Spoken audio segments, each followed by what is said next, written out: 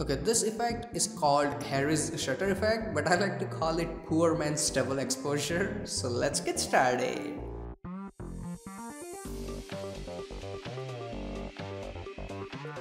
Hey what's up guys, Dhruval here back with another video and as you can see this is the final output and you can clearly see from my output that I'm going to use three different images. Now download link to all of these images is in video description so you can use them if you want to practice.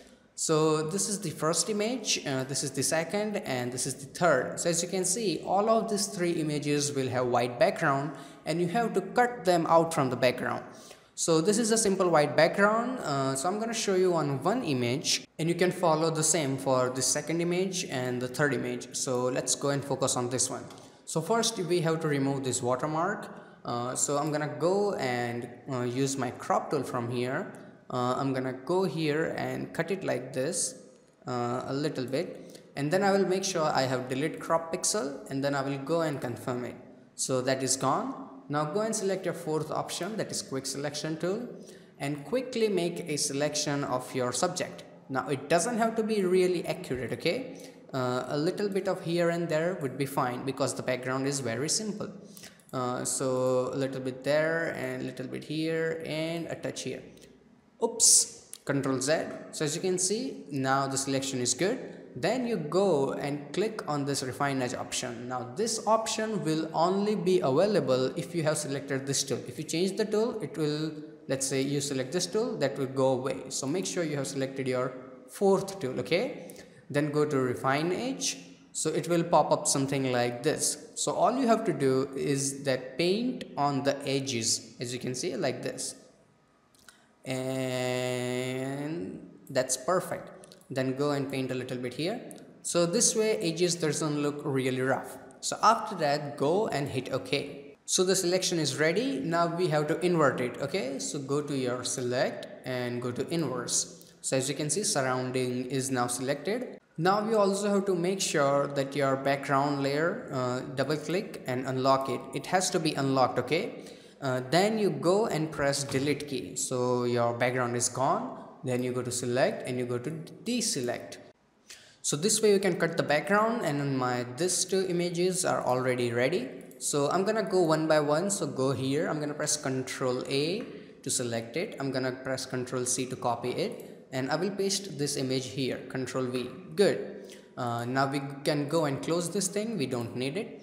Uh, so let's go here. Control a control c copy this image uh, come back here control v to cut it out now all the images are in here. Uh, we are ready to work on the effect. So select your crop tool.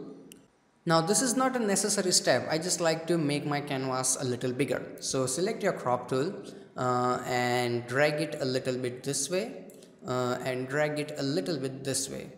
Uh, then go and confirm it. This way you can make your canvas bigger. Just a tip, okay? Uh, then I'm gonna go and create another blank layer like this uh, and put this below my all of the model layer okay at the right bottom.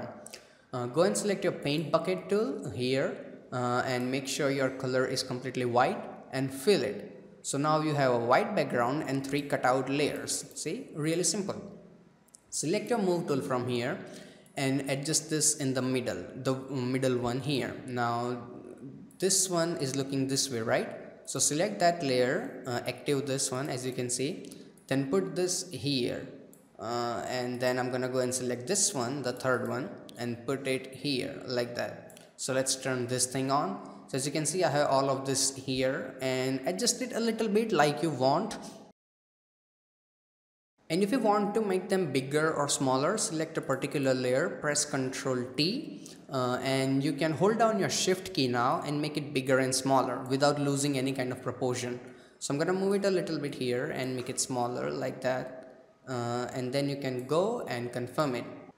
So all the setup is ready and now we can start applying the effect. So I'm gonna start with the middle layer. Double click on it and you can see the box will pop up and in the channel option here I will turn off my G and B so as you can see now only we have red channel active and just simply go and hit OK. Now let's start with this. So select this one, uh, make it active, double click on it here. Then this time we will turn off R and B. So we only have G active, the green channel and hit OK.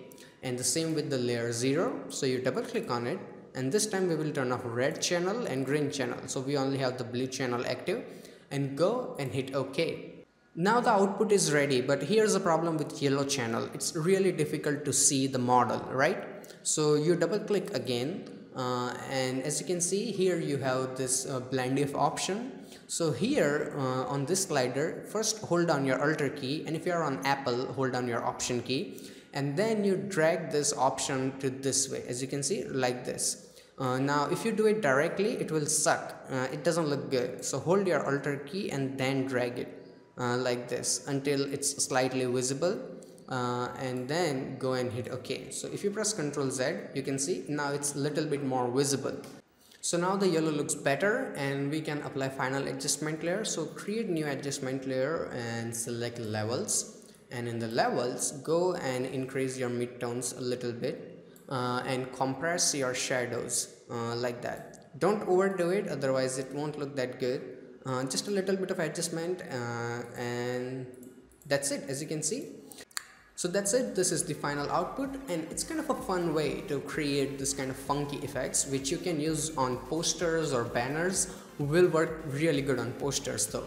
So I really hope that you guys learned something from this video and if you did hit that like button and if you are stuck somewhere or if you have any kind of questions uh, feel free to ask me in comment section below and you can click on any of these boxes if you want to check out more of my videos.